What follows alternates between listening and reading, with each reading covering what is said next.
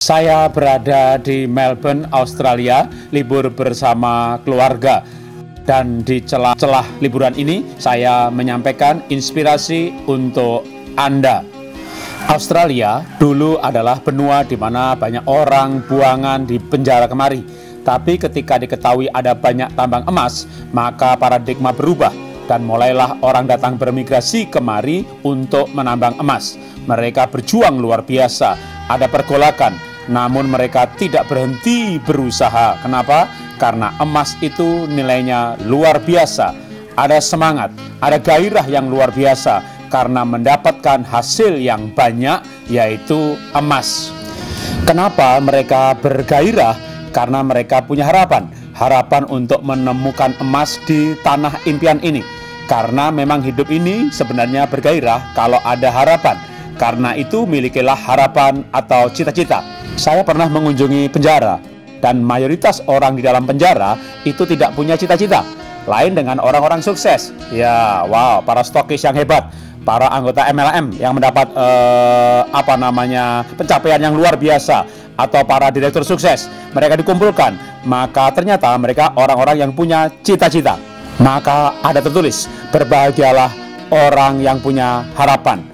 Harapan, cita-cita, dream, mimpi, itu membuat orang hidup bergairah, antusias, bahkan membuat orang bahagia. Tanpa harapan, tanpa impian, tanpa dream, manusia seperti daging hidup yang ketumbuh bergerak ke sana kemari. Milikilah impian dalam hidup ini dan jadikan hidup Anda bergairah, meraih sukses, bahkan bahagia. Jadi rupanya dalam hidup ini banyak orang itu tidak mencapai sesuatu bukan karena dia nggak mampu, tapi karena dia tidak punya impian untuk hal itu.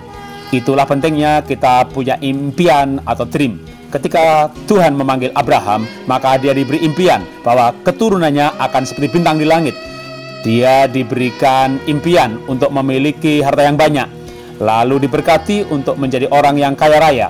Nah, itu hal-hal yang mengobarkan impian.